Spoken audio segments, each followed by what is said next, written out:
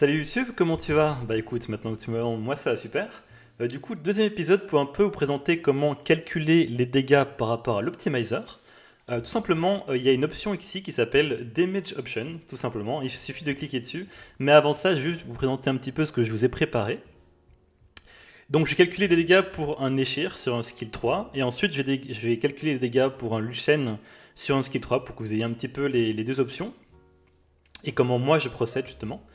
Euh, donc là, j'ai préparé en Swift Wheel, en Speed, euh, slot 6 HP, et ici en slot 4, j'ai mis Crit Rate, Crit Damage. Je peux même mettre HP, parce que comme c'est un monstre qui sur le skill 3 scale uniquement sur les HP, et en, fonction des artefacts multi dégâts supplémentaires selon les HP, ça peut faire vraiment très très mal d'être en speed HP HP, surtout, surtout si vous n'avez pas de bonne rune, autocrit ou euh, crit damage tout simplement. Et donc là, je vous ai juste mis 320 euh, de speed et 70 de crit. Euh, je vais quand même mettre un bon 160 000 effective HP pour être sûr que le build, euh, avec 34 000 HP, pour être sûr que le build me mette quand même des, builds pas avec 0 HP pour le coup, parce que j'aurais quand même besoin d'être assez tanky sur mon Ishir. Et du coup, pour commencer à calculer, je vais cliquer sur Damage Options, bien cocher l'option 2, mais normalement ça se fait par défaut si vous commencez à cliquer sur les sorts. Donc là, si on voulait calculer un skill 1 ou un skill 2, ben, ce serait 1 euh, ou 2.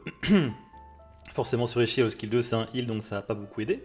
Mais du coup, on va faire le skill 3, et comme on peut le voir, c'est un scaling uniquement euh, sur les HP.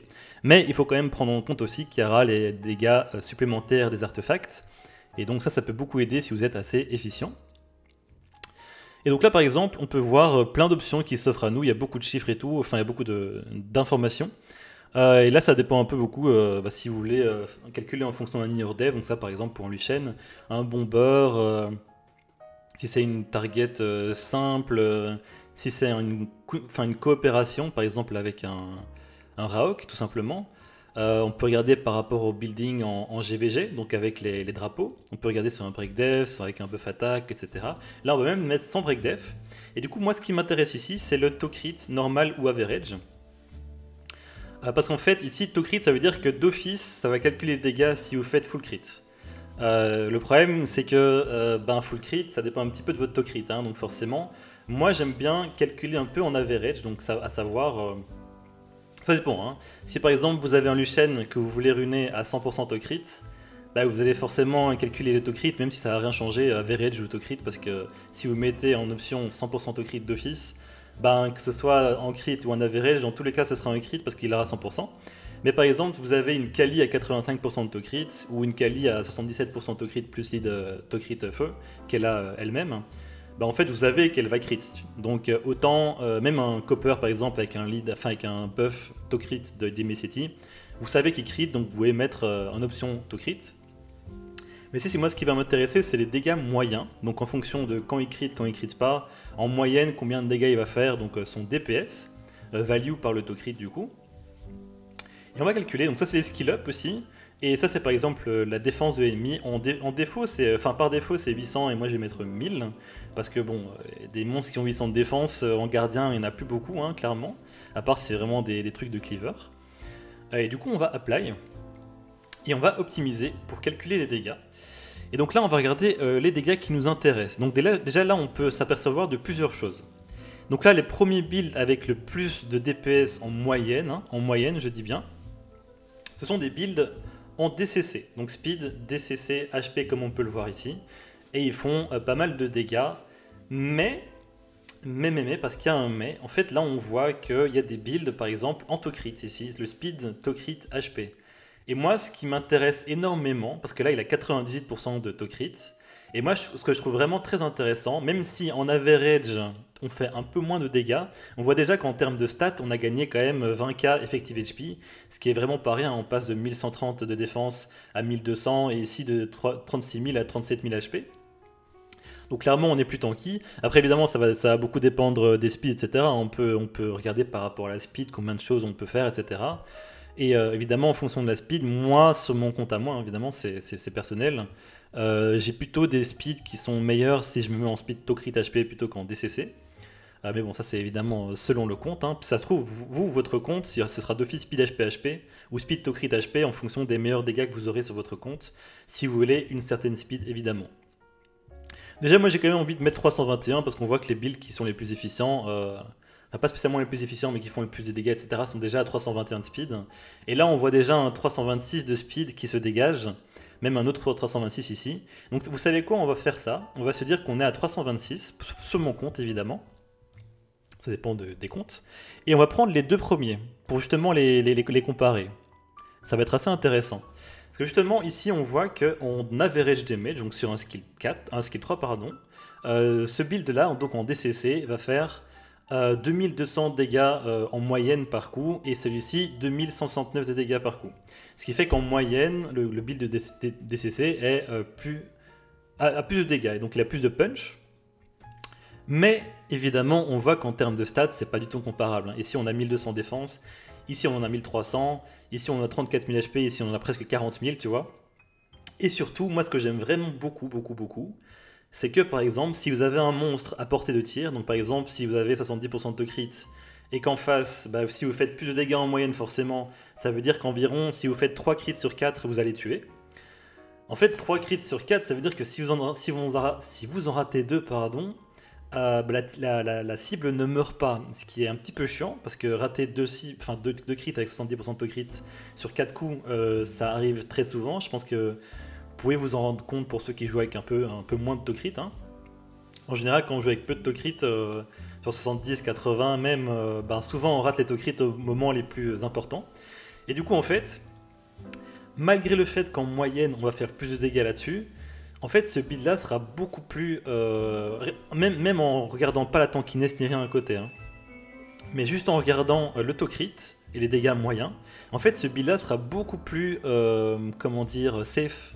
Parce que vous êtes presque... Bon, ici, j'ai 99, j'ai pas 100% malheureusement. Mais vous, savez, en fait, imaginons que j'ai 100%, vous savez que vous allez faire 4 crits. Et si, par exemple, la cible en face, vous avez un peu moins de dégâts, vous n'êtes pas en DCC, hein, mais si vous savez que si vous faites 4 crits, vous allez euh, tuer, bah avec 99%, vous êtes euh, avec un meilleur entre guillemets DPS plus résilient en fait. Tout simplement. Donc ça c'est une chose, donc ça c'est pour regarder euh, les dégâts avec un, avec un Shir. Ce qu'on va faire, c'est que je vais regarder les dégâts, enfin le, build qu'il a déjà actuellement. Donc vous pouvez voir ses stats ici. D'ailleurs, c'est celui-ci, justement. C'est le build que j'ai actuellement, celui-ci. Et ce qu'on va faire, c'est vite fait regarder les, artefacts donc ce qu'on va faire, c'est qu'on va utiliser les runes qui sont déjà équipées en cochant ceci. On va euh, enable les artefacts pour regarder ce qu'on a ici. Et pour euh, calculer les dégâts euh, qu'on aurait en artefact, vu qu'il y a quand même pas mal de multi-hits, du coup ce qui va être assez intéressant, c'est de regarder les dégâts avec les artefacts.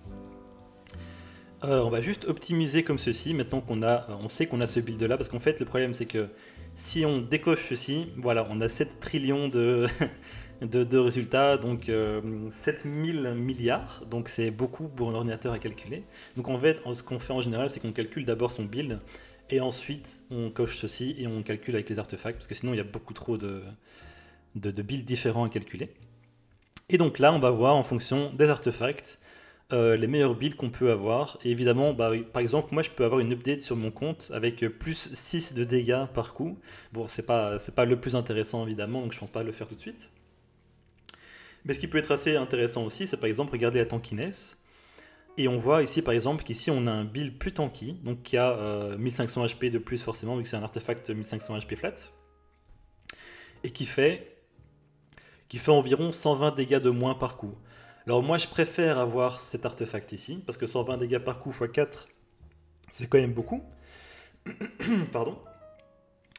Mais euh, il peut y avoir des situations où, par exemple, vous faites 50 euh, dégâts bruts en moins euh, par coup, alors que vous, êtes beaucoup plus tanky, ce qui fait que bah, vous préférez quand même aller sur ce genre de build forcément. Ça, c'est pour regarder en fonction des artefacts. Donc, imaginons que ce soit ça votre build. Hop, vous allez regarder et vous avez vos deux artefacts. Oubliez juste, pas de les lock, évidemment. Hein. Si vous les lockez pas, ils seront utilisés sur d'autres persos. Et donc, ben, forcément, les artefacts, il n'y en, en, a pas 150 de la même manière. Et maintenant, calculons vite fait un Luchen pour vous montrer un petit peu comment moi je ferais. Imaginons que ce soit un Fat Luchen, donc en rage, en, rage lame. Évidemment, là je vais quand même dire un truc parce que par exemple, si vous faites du rage broken, si ça se trouve en faisant du rage broken, vous aurez un meilleur set qu'en rage blade, donc en rage lame. Moi je connais assez bien mon compte, donc je sais qu'en rage lame j'ai des meilleures runes.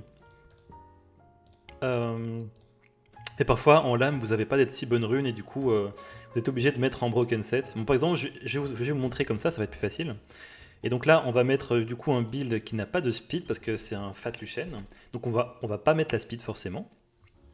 On va mettre l'attaque, l'autocrit et le crit damage. Et forcément, on veut en général un Luchen qui one-shot les vagues. hein. Les vagues, elles ont des, des monstres neutres, à savoir les cristaux.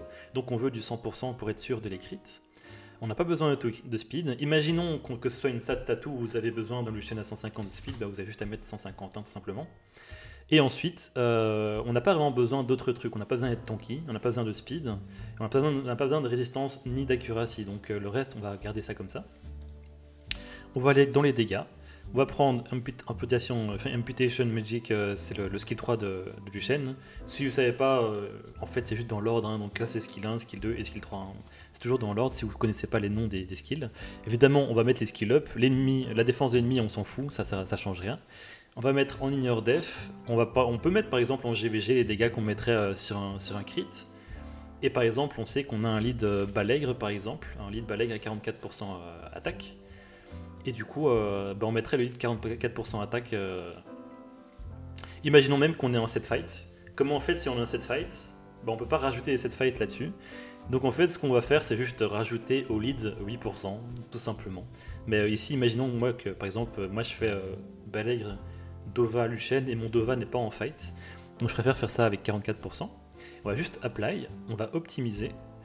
Euh, juste... euh, Qu'est-ce qui fait que j'ai rien trouvé ici? Ah oui, forcément, en fait, j'utilisais déjà mes, mes, trucs ici, j'avais pas encore décoché le- les artefacts. Euh, et mon build en RTA n'a pas 100%, donc. Si j'équipe le build que j'ai en RTA, ben, il a un build qui est pas même pas complet, je pense. Donc on va juste faire comme ça.